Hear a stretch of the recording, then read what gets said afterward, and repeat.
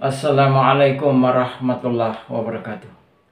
Alhamdulillahirabbil alamin. Wa bihi nasta'in ala umuri dunya wa din wassalatu wassalamu ala asrafil anbiya wal mursalin. Sayyidina wa maulana Muhammadin wa ala alihi wa sahbihi ajmain. Rekan-rekan sekalian, hidup ini adalah kesempatan, bukan hidup adalah pilihan. Oleh karena itu, jika usia kita masih berkisar 25 tahun, 35 tahun, 45 tahun, 55 tahun masih ada tenaga dan kekuasaan, kekuatan, masih cemerlang daya pikir kita, masih energik dan brilian pemikiran kita. Jangan kita sia-siakan, jangan kita berleha-leha, jangan kita rileks-rileks, jangan kita santai-santai manfaatkan kesempatan. Kesempatan tidak akan datang dua kali, tiga kali, apalagi empat kali, lima kali. Atau berulang-ulang. Kesempatan emas biasanya hanya akan datang satu kali lagi bagi setiap manusia. Adapun kesempatan-kesempatan lain itu bukanlah kesempatan emas, tetapi hanya tambahan-tambahan kesempatan yang persentase keuntungannya juga kecil. Rekan-rekan sekalian, kesempatan. Memiliki lahan. Mulai sekarang tanam sebanyak-banyaknya. Apakah umbi-umbian? Apakah pepohonan yang satu tahun, dua tahun, tiga tahun, empat tahun berbuah? Atau tanaman merambat? Tanaman yang bisa dipanen setiap bulan.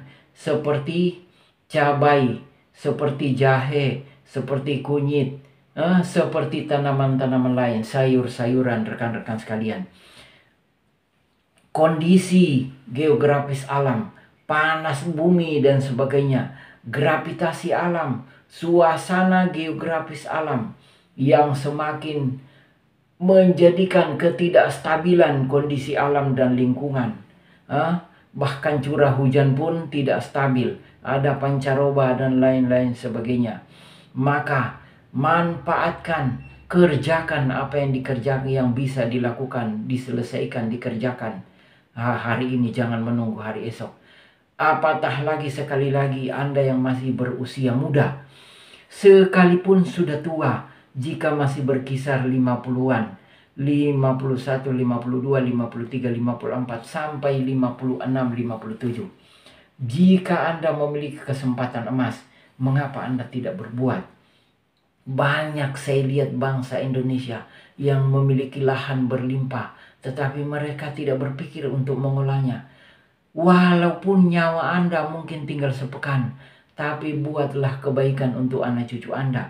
Apakah Anda bertanam, apakah Anda menulis, atau wasiat yang berupa nasihat, tetapi suatu saat akan dibaca, akan dinikmati, akan disimak oleh anak cucu kita.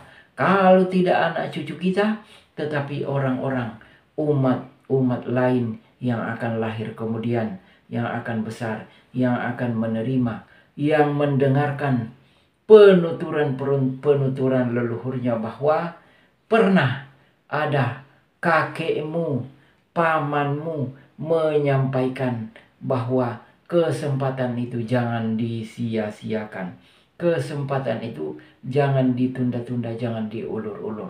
Rekan-rekan sekalian, apabila memang kita tidak memiliki daya upaya, tetapi banyak orang memiliki kelebihan, memiliki berbagai kemudahan-kemudahan, tetapi tidak dimanfaatkan, hanya menunggu, hanya mengharapkan bagaimana penghasilan orang tua, bagaimana penghasilan paman, bagaimana harta warisan dari orang tuanya atau kakeknya, neneknya, dan familinya yang lain. Rekan-rekan sekalian ini pemikiran yang keliru.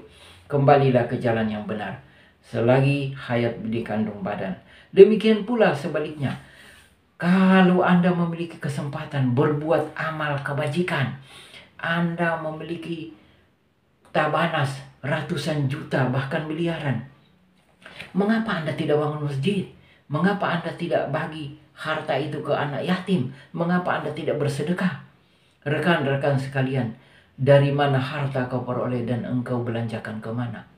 Dari mana umurmu, umurmu, masa mudamu? Engkau kemanakan? Apakah engkau berbakti kepada Allah SWT, kepada kedua orang tuamu? Nah, rekan-rekan sekalian, akan dimintai pertanggungjawaban. Atas perhatian, semoga menjadi renungan. Alaikum wassalamualaikum warahmatullahi wabarakatuh.